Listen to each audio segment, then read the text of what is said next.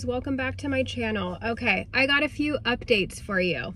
Um, sorry if I sound a little nasally. I am fighting something off. Um, but okay, I am headed to Costco. Well, first I'm going to the UPS store, but that's not exciting. I'm going to stock up for the rest of the week and then I am going to either on Sunday or Monday, Jenny Adams, whenever you respond to that part of the question, that's what I'm doing. Because I was toying with the idea and then Jenny's like, I'll do it with you. So I'm gonna do it. I've always been curious like how I would feel eating that way. Um, I've been afraid to try it because I don't want to give up all the other animals, but the curiosity got the best of me.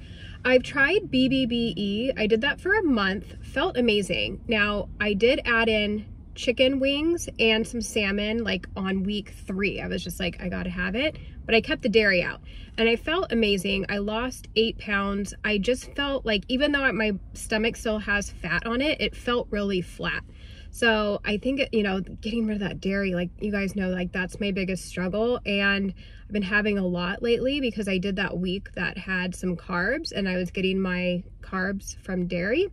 So I think this will be a nice reset, but I'm not starting tomorrow, which I probably should, but I have a waffle cone video I want to film and I have to fill it with ice cream carnivore ice cream. So I have to taste it, right?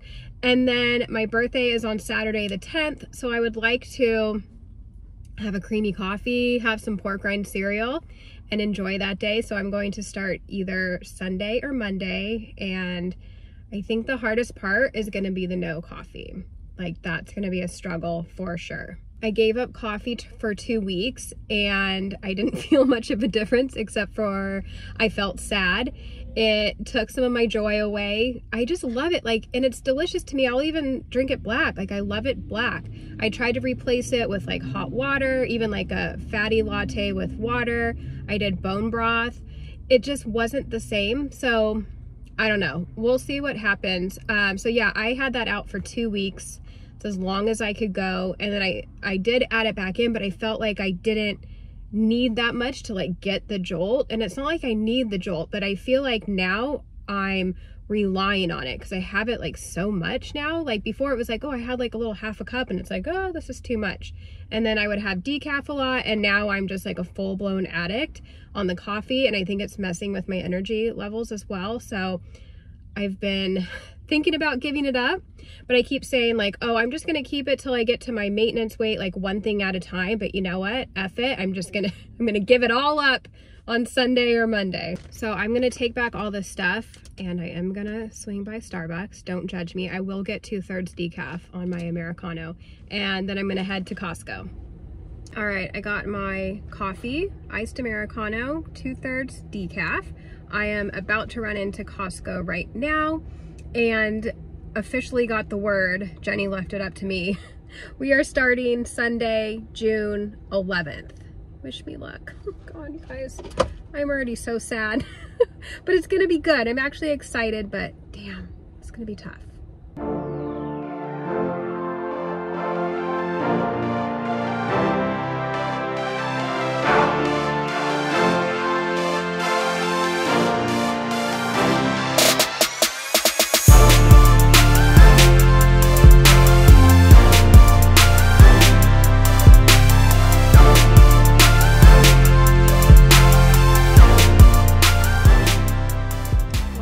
$420.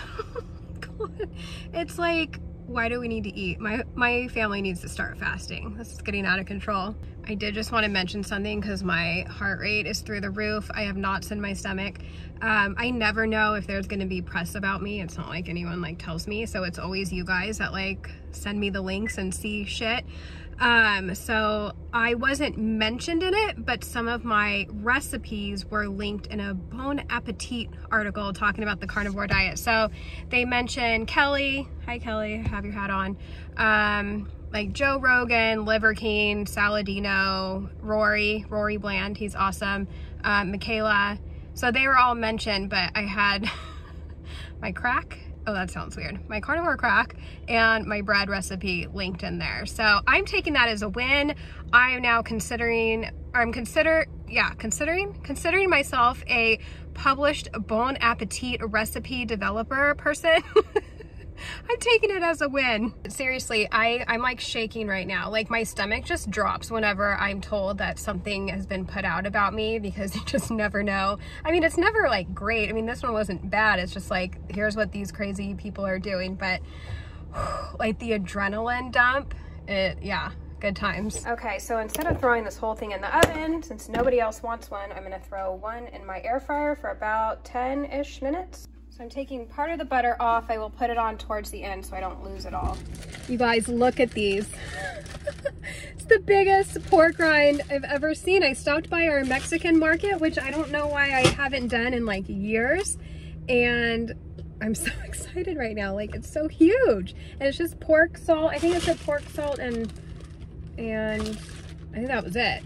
I probably said lard or something because I feel like it said something else. But yeah, nothing, nothing wonky. Cooking up these ribeyes for dinner and I will finish this tomorrow. See you in the morning. Good morning. So it is the next day. It's actually like lunchtime. It's almost noon.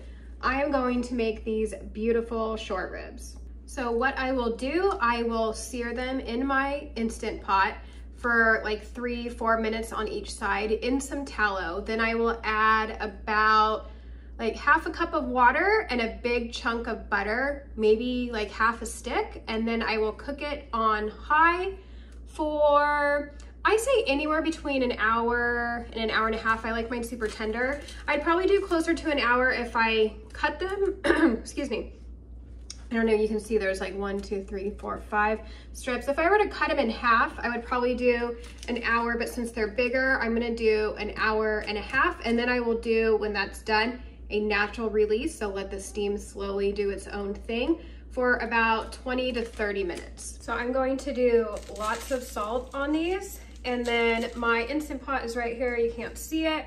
It's heating up right now. I will add some tallow and give it a nice sear and I'll show you guys what that looks like when that's happening. So I'm using this tallow, just do like a little spoonful.